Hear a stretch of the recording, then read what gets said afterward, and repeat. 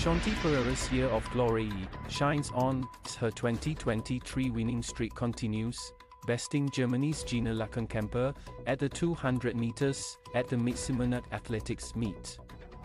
Shanti ran an impressive 23. 32 seconds, cinching first place in the race on July 30th Sunday. She is no longer just Singapore's Asia's sprint queen, as the 26-year-old athlete appears to have set her sights on world domination. At the SEA Games in May, Pereira clocked a timing of 11.41 s in the 100m event and set a new game and national record in the 200m race with 22.69 s.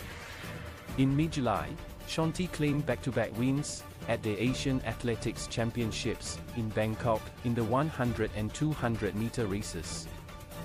Breaking the national record for the 100m with a time of 11.20 s.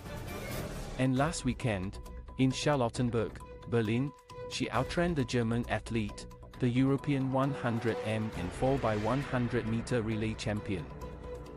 Up next for Shanti are three more Europe stops. The Straits Times reported that on August 5th, she'll be at the Folksam Grand Prix in Malmö, Sweden, before heading to Copenhagen, Denmark.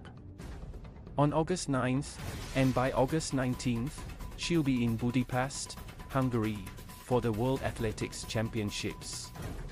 Aside from the national record for the 100m event, Shanti also holds the national record for the 200m Southeast Asian Games record 22.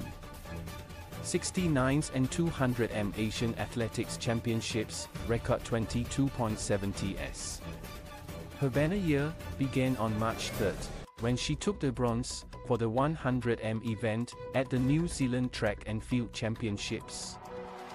This was followed on March 25th, when she again finished third in the 200m race at the Brisbane track class.